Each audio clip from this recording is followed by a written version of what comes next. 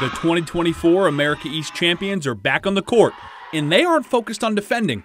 They're focused on attacking. I saw a great quote from Joe Mazzulla who said, We don't talk about defending because defending is kind of feels like it's retreat or it puts you on your heels. You know, we talk about attacking and going to get the next one. And so last year is over. Like we've had our celebrations, we've had our rings, we had all that good stuff. They'll have to do it without their two superstars from last year's team, losing reigning America East Player of the Year Anne Simon to graduation, and 2023 Player of the Year Adrianna Smith to a devastating knee injury in the preseason. You know, Addie brought so much to the table whether it was on the defensive end, offensive end, uh, rebounds, you know, guarding one of their best players. If you take Anne and Addie and the minutes they played and everything, that's a lot. Both Anne and Addie averaged over 34 minutes and 16 points for Maine last season, leaving big shoes to fill. But head coach Amy Vachon says for the Maine women's basketball program, the standard is the standard. Our goals don't change um, year to year depending on who's on our team and who's not. You know, we, we expect excellence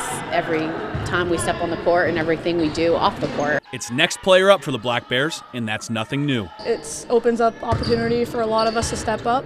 Um, you know, Coach Amy mentioned that we've had moments like these before. And no one knew Addie could do what she could do before Anne went down, you know, and so I'm excited to see on our team who will be that next person to step up or next people to step up.